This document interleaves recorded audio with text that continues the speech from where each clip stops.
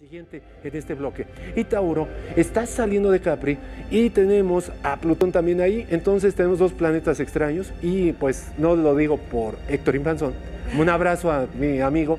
Pero resulta que sí necesitan renovar. Fíjense, un Tauro con el Plutón ahí significa renovar, trascender y demás, quitarse el duelo, empezar a ser más expansivo porque siempre dicen, este proyecto me funcionó y no lo dejan.